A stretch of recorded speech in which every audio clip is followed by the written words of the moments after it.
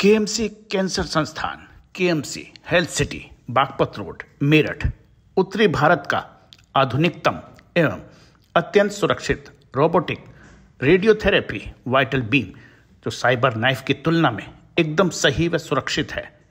Rapid arc से सुसज्जित संस्थान 24 फोर इंटू सेवन, हर प्रकार के कैंसर के ऑपरेशन कीमोथेरेपी और प्रत्येक प्रकार की रेडियोथेरेपी व रेडियो सर्जरी उपलब्ध है। कैंसर को पहचानने के लिए आधुनिकतम पेट सिटी उचित शुल्क पर उपलब्ध है। पानी भरे होकर बनवाए थे ना? वो भी भेज दिए और एक एन के लिए और लिखवा दें।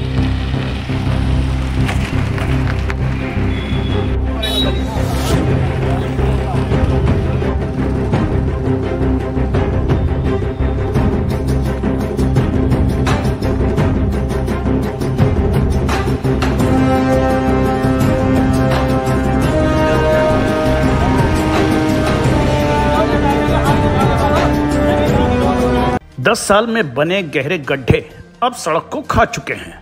ममाना रोड स्थित एफआईटी के सामने से कई कॉलोनियों तक जाने वाले इस मार्ग पर अब यह तलाशना मुश्किल हो गया है कि इसमें सड़क कहाँ है। बरसात के दिनों में और बुरा हाल हो जाता है जब यह पता नहीं चल पाता कि सड़क कहाँ है। जो कम गहरे गड्ढे हैं, उसमें से ही वाहन निकालना राहगीरों की मजबूरी बन गया है। कृष्णा लोक समेत इस सड़क पर बसी कॉलोनी के लोगों ने कई मर्तबा प्रशासनिक अफसरों के दरवाजे खटखटाए। मंत्री, सांसद व विधायकों से इसे बनवाने की गुहार भी लगाई, लेकिन यह नक्कार खाने में किसी तूती के समान ही रही। अब कॉलोनी वासियों ने रविवार को इकट्ठा होकर आंदोलन का बिगुल बजाने का फैसला लिया है। इन लोगों का कहना है कि यदि समय रहते प्रशासन व जिम्मेदार विभाग ने इस सड़क का निर्माण नहीं किया तो उन्हें मजबूरी में कोई सख्त कदम उठाना होगा। दरअसल मवाना रोड पर एफआईटी कॉलेज के सामने से होकर गुजरने वाली सड़क कई कॉलोनियों के लोगों के लिए मवाना रोड पर आने का एकमात्र विकल्प है। फ़र्स्ट बाइट डॉट टीवी ने सड़क की दुर्दशा को कुछ इस तरह से अपने कैमरे में कैद किया है। पहले वह देखिए। पानी भरे होके बनवाए थे ना? वो भी भेज दिए और एक एन के लिए और लिखवा देना। एन के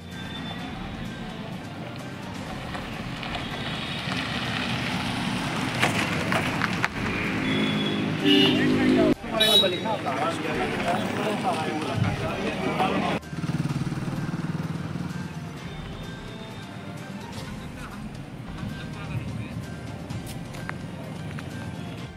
दिवस यहाँ आंदोलन की रूपरेखा तय करने के लिए इकट्ठा हुए परेशान लोगों से जब फ़र्स्ट बाइट डॉट टीवी ने वार्ता की तो उन्होंने यह कहा। कॉलोनी मवाना रोड मेरठ से आज हम सब लोग यहाँ पे प्रदर्शन करने के लिए इसलिए इकट्ठा हुए हैं कि पिछले आठ से दस साल से पूरा संघर्ष किया जा रहा है सिर्फ़ एक रोड को बनवाने के लिए। यहाँ पे कम से कम पूरा ना, पूरे मेरठ के कॉलेज की स्कूलों की कम से कम 20 से 25 बसें सुबह और शाम में निकलती हैं। एक एफआईटी कॉलेज यहाँ पे सबसे बड़ा एजुकेशन सेंटर हब है, जहाँ पे प्रतिदिन एग्ज़ाम होते हैं और प्रतिदिन कम से कम 10 से 12 कॉलोनियों के लोग और चार से पाँच गाँव इस रोड पे जुड़े हुए हैं और इस रोड की इतनी हालत नाजुक है कि कोई पैदल भी नहीं चल सकता। रोज़ लोग यहाँ पे घायल होते हैं, उनके स्कूटर गिरते हैं, गाड़ियाँ टूटती हैं, पर किसी तरह की कोई सुनवाई नहीं है। पिछले पाँच छः साल से तो शहर के एमपी से, विधायक से एमडीए में और नगर निगम, सब जगह पे हर तरह से लोग इकट्ठे हो के दस बारह बार, पंद्रह बार, बीस बार, अनगिनत बार जा चुके हैं। पर किसी भी तरह की कोई भी व्यवस्था, यहाँ पे किसी भी तरह की सफ़ाई की व्यवस्था नहीं है, रोड बनने की व्यवस्था नहीं है।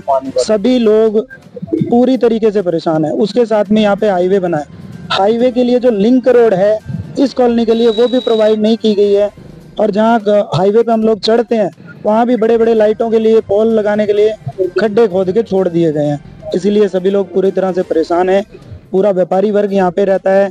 कम से कम जितने भी कॉलोनी है, सबके अंदर सब नौकरी पेशा लोग हैं, जो सुबह जाते हैं, शाम को आते हैं। इसलिए व्हीकल बहुत ज़्यादा चलते और लोग पूरी तरीके से परेशान हैं। बच्चों से लेके बुज़ुर्गों तक। धन्यवाद। होगी सर आगे रणनीति ये होगी यदि इसी तरह से हमारी किसी कहीं पे भी सुनवाई नहीं सुनी जाती है तो हमारे पास एक्सप्रेस वे है। हम कोशिश करेंगे कि पहले तो सरकार को चेताया जाए प्रशासन को चेताया जाए आप लोगों के माध्यम से। यदि वो नहीं चेतते हैं तो फिर रोड बंद करने के अलावा हमारे पास कोई ऑप्शन बचता नहीं है। तो हाईवे पे हमें बैठना पड़ेगा प्रदर्शन करना पड़ेगा क्योंकि हम ये सोचते हैं कि जो हमारे बच्चे हैं बुज़ुर्ग हैं महिलाएँ हैं उनकी जो ज़िंदगी है वो कहीं ज़्यादा कीमती है इन सब चीज़ों से। इसलिए रोड का निर्माण कराया जाए।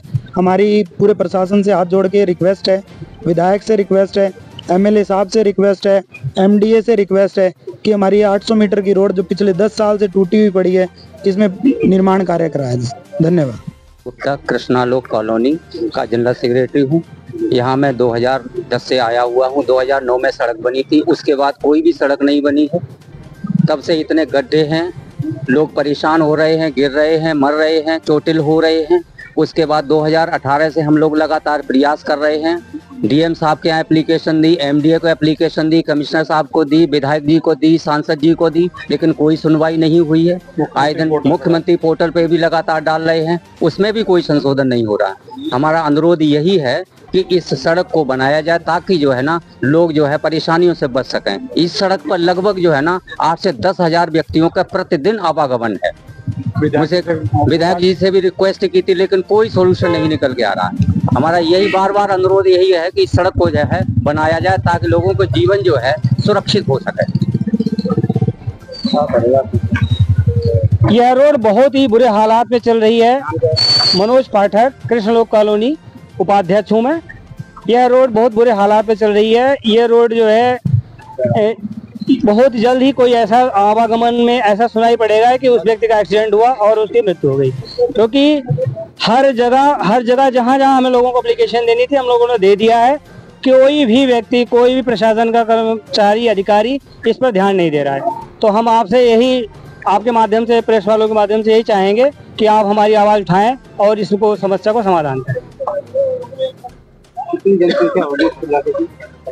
यहाँ पर लगभग जो जनसंख्या इस रोड से आवागमन चल रहा है दस हज़ार से अधिक ही है जो पर डे आवागमन हो रहा है। कम से कम सात आठ कॉलोनी है जिनका हमने ब्यौरा आपको दे दिया है। आजकल तो गाँव की रोड है ठीक है और यहाँ की हालत देखो। आजकल अगर देखा जाए मैं सनोज तोमर राधाकुंज कॉलोनी। आजकल आप गाँव में जाएँगे तो रोडों की हालात इतनी अच्छी हैं, बहुत सब कुछ अच्छा है। और हम मेरठ में आने के बावजूद इतनी अच्छी यहाँ पे जो है ज़मीन खरीदने के बावजूद अगर ये रास्ते मिलेंगे तो क्या है प्रशासन का जो जो हमारे जो इसके अंदर जो काम होगा, क्या है इसका फिर व्यवस्था? एक परसेंट की भी कोई व्यवस्था नहीं है। अगर बात करें यहाँ पे जो है बच्चे पेपर देने के लिए आते हैं, यहाँ पे नेशनल लेवल के पेपर देते हैं, और भीड़ होती है, इतनी ज़्यादा होती है, और देखो तो रास्ता इतना है कि गाँव से गए गुजरे हालात हैं। और पानी अगर यहाँ पे जब जल भरा होता है, तब तो तालाब जैसे नज़ारे होते हैं। चोट इतनी यहाँ पे लगती है, जो बाइक से गिरते हैं बच्चे, कोई भी आता जाता है। तो मैं तो कहता हूँ कि ये बहुत ही ज़्यादा हालात बदतर है। प्रशासन को इस चीज़ को देखना चाहिए। इस अपडेट में फ़िलहाल इतना ही। आप देखते रहिए फ़र्स्ट बाइट डॉट टीवी नमस्कार।